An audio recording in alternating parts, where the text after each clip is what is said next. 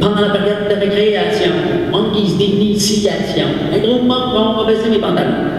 Biz, un des membres de la formation Loco Locas, était de passage à l'école secondaire de Bromptonville jeudi. À la base, je viens leur parler de langue française, puis de leur vie au secondaire avec la chute de Sparte, d'intimidation, de trucs comme ça.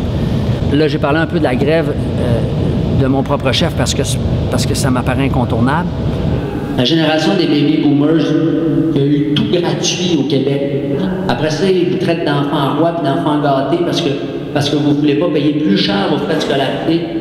Mais c'est ces adultes-là qui disent ça, là, je les emmerde profondément. Donc moi, je ne vais pas me censurer du prétexte qu'il faut faire attention, on est dans une école. Si tu as une question à me poser sur l'avenir politique du Québec, si tu me demandes mon opinion, je vais te la donner. Euh, ouais, il parlait de la grève qui était contre. Il était avec nous autres.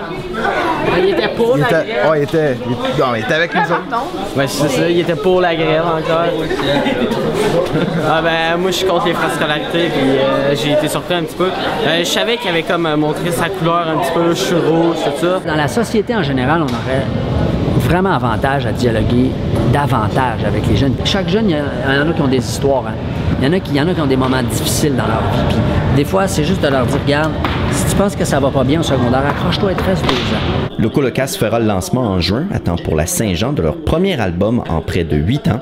Le titre n'a pas encore été dévoilé, mais un extrait est déjà disponible sur Archambault et iTunes. Il y a énormément d'attentes. C'est- clair que. Il y a une fille sur notre forum, elle- sa signature, c'est un chef-d'œuvre ou rien. fait que si ça place pas la barre haute, ça,